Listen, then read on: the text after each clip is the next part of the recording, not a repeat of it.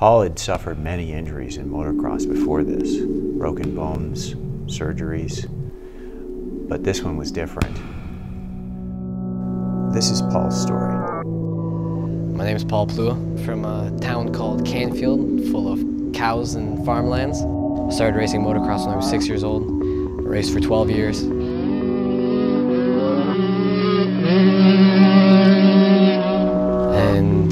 Unfortunately one day just had a bad injury. Paul was 16 years old, a high school student at the time this happened. He was doing qualifiers for the world champion in Vegas. And two weeks before, we did a training in New York, and something went wrong. There was a jump with some ruts in it, and unfortunately in one of the ruts there was a rock, and just managed to clip it, so I went head first into the next jump, and the bike was with me between my legs and just snapped me in half. The motorcycle started flipping, and he landed on the head. The motorcycle on the top of him, break him in half. It was, I think, a day that they'll never forget. When I got there, he was already dead. He wasn't breathing. Then helicopter came and they took him to hospital in Buffalo. I first met Paul a couple of months after his accident. He had a traumatic brain injury and spinal cord injury. Paul was a nationally ranked motocross racer and he went from competing on the world stage to lying in a hospital bed with a spinal cord injury. It was at the beginning of our first meeting at Paul's house that Andy, being the proud dad, took me downstairs just to show me Paul's trophy room. When I first walked into that room, I was blown away. I've never seen anything like the trophy room that Paul had. It really gave me a sense as to how successful this young guy was.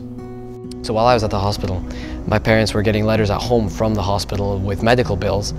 And I mean, they even charged us for water and for ice cubes in the water. Just the for hospital was, I think, 120,000 for the operation. Then, then we didn't know what to do. We had insurance in the States that covered eh, all extreme sports. We sent the bills to them. They sent them back and said, you know, we're not going to cover you because you're getting paid. Getting paid, I wasn't getting paid anything, maybe in just trophies, but not any money or anything like that. Billy came and gave us heads up and he said he's gonna take care of us. We were finally refused by insurance policy for the bills in the States and everything like that. We knew we needed help. And once I started working with Bill, I mean, he provided caseworkers, OTs, uh, speech language pathologists, physiotherapists, physiotherapy clinics. I mean, everything you need to, to get better and to return to, you know, what you're capable of. And um, you know, after a little while working with him, he was started talking to me about a settlement, and you know, we started going through the papers and looking through the files. Seeing Paul play wheelchair basketball for the first time was fantastic because I know that he has money to pay for the rehab he'll need in the future. I know that he has the money to replace the income that he would have earned but for his accident. Working with Bill and his law firm really made the process as easy as possible. You know, while you're at the hospital or wherever you are, rehab, outpatient, inpatient, doing your thing, I mean, you've got someone that's there 24-7 working for you, working through the paperwork, and so that you don't have to worry about it. You can focus on yourself and your family.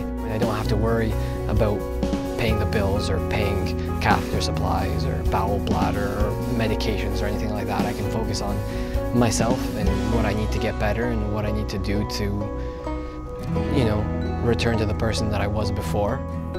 Paul's an amazing young man. We look forward to watching him grow up, having a family, succeeding in whatever he chooses to do.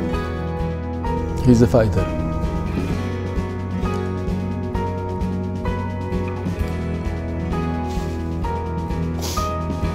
is a fighter. I'm proud of him. My name is Paul Plewa, 18 years old, and I'm a Class 3 wheelchair basketball player.